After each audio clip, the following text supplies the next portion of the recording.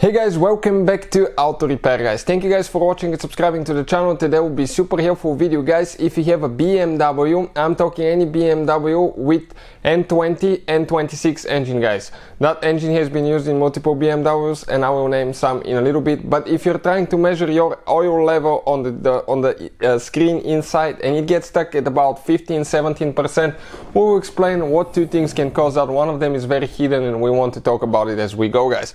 Now, another Another thing, if you have that engine, we will explain how we can probably save you guys between five and ten thousand dollars. So make sure you stay until the end because there is a problem with certain years of that engine that can cost you five to ten thousand dollars. Before we start, let me tell you if you need to buy buy any parts, tools, check out the link in the description of the video below. You can see where we get all the tools and parts from for a really good price, quick shipping as well, guys.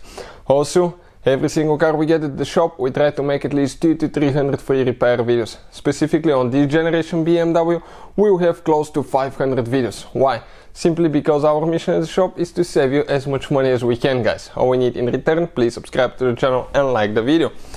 Let's explain now first guys, okay, we can save you five to ten thousand dollars if you have that engine.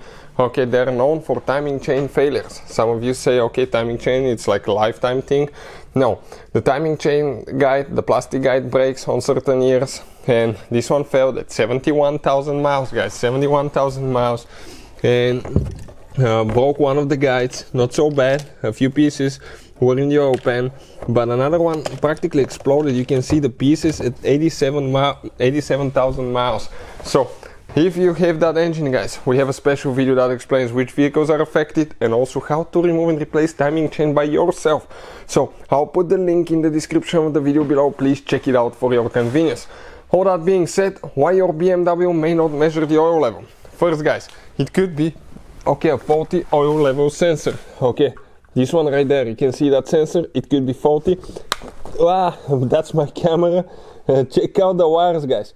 Okay the wires going to it. Make sure it's not loose make sure you don't have dirt dust. Clean the wires and reconnect the connector. Sometimes it could be too much stuck stuff stuck in the level sensor and not work correctly. Now it could be something else as well. If you come right here check it out guys.